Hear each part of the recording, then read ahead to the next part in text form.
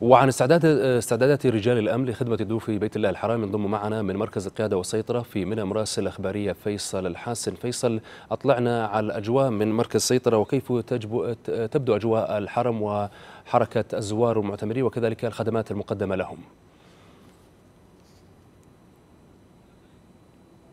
نعم عبد الرحمن. طبعا كثفت الجهات الأمنية من فيصل تسمعني. من قبل الجمعه هذا اليوم استعدادا لتوافد المصلين.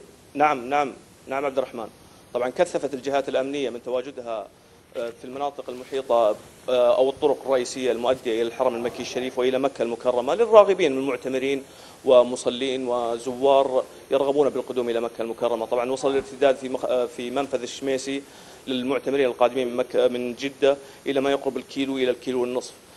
طبعا استطاعت الجهات الأمنية من من زيادة الدعم إلى 50 فرقة تقريبا داخل ساحات الحرم المكي الشريف، هناك فرق متوزعة حتى في المناطق الخارجية للحرم المكي الشريف أو في الساحات المحيطة أو الشوارع المحيطة بالحرم المكي الشريف، طبعا حركة المرور يتم إيقافها خاصة في في المنطقة نعم. المركزية وذلك لتسهيل التسهيل التسهيل على المشاة للوصول إلى الحرم المكي الشريف.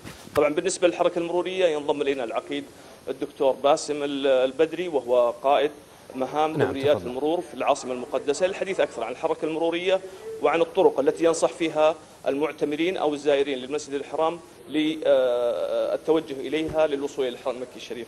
نرحب فيك عقيد سامي باسم ونقول لك كل عام وأنت بخير طبعا اليوم أول جمعة في شهر رمضان المبارك تحدثني عن أبرز ما واجهته اليوم كيف شفت الحركة المرورية في العاصمة المقدسة طيب اولا أرحب بك وبعموم المشاهدين. بسم الله الرحمن الرحيم. الحمد لله رب العالمين والصلاة والسلام على المبعوث رحمة للعالمين سيدنا محمد وعلى آله وصحبه أجمعين. الحمد لله كان استعدادنا من وقت مبكر تقريبا من الساعة الثامنة بناء على التوجيهات الصادرة من سعادة اللواء عبد الله بن حسن الزهراني يكون في خطة موضوعة لصلاة الجمعة من وقت مبكر. تم تدعيم المناطق المركزية بعدد كافي من الدوريات ومن الآليات ومن الضباط المشرفين على المحاور الأربعة الرئيسية التي تصب على المنطقة المركزية. تم تفعيل دور نقاط الفرز والتحكم من وقت مبكر تقريبا من الساعة التاسعة صباحا بعملية الفرز والتحكم على دخول المركبات للمنطقة المركزية. كان هناك تناغم في عملية دخول المركبات مع تزامن زيادة الحركة المشاة ودخولها إلى المنطقة المركزية داخل الحرم الشريف. الحمد لله لم تسجل أي ملاحظة. كان هناك تدفق عالي للمشاة. آه لم يحدث اختلاط بين المشاة وبين المركبات لم تسجل أي ملاحظة على المحاور الأربعة كاملة. الحمد لله في وقت قصير تمكنا من تفريغ المنطقة المركزية قبل الأذان تقريبا بنصف ساعة آه أو إقامة الصلاة بالأصح.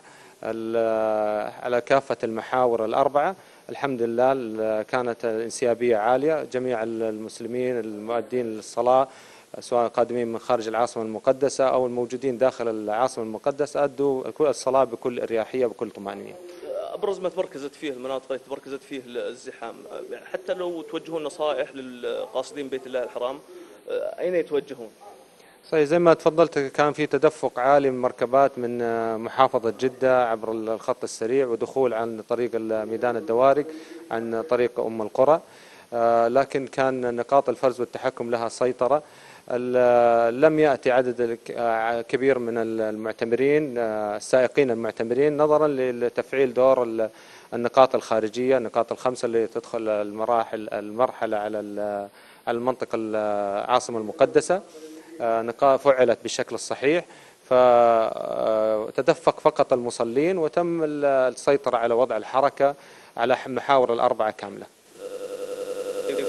في كثافة عالية. لا يقتصر الأمر على يوم صلاة الجمعة فقط لكن طوال اليوم للمعتمرين والقاصدين بيت الله الحرام. كيف هي الحركة المرورية في هذه اللحظات الآن؟ صحيح وضع وضع اليوم الجمعة وضع خاص والاستعداد له كمان خاص. لكن الحمد لله كان في انسيابية عالية في عملية الدخول كان في سيطرة على المحاور الخارجية والداخلية كان في توجيه صحيح للنقاط المواقع المواقف الداخلية وهي عندنا تسع مواقف داخلية وهذه بالأخص للقادمين من داخل مكة وسكان مكة وقاطنيها. والحمد لله تمت السيطرة والدخول وانتهاء الصلاة تم تفريغ المنطقة المركزية في وقت قياسي الحمد لله ولم تسجل أي ملاحظة. ماذا عن بداية شهر رمضان وإلى هذا اليوم؟ كيف هي الخطة المرورية داخل العاصمة المقدسة؟ الحمد لله إذا جينا للإحصائيات في تزايد في عدد في عدد المعتمرين وعدد المصلين من مقارنة بالعام الماضي. نعم آه، فيصل. تم تسجيل إحصائية خلال الخمسة أيام السابقة حوالي زيا- بزيادة 17 ألف مركبة في دخولها وتدفقها على العاصمة المقدسة. الحمد لله كل هذا وضع في الحسبان.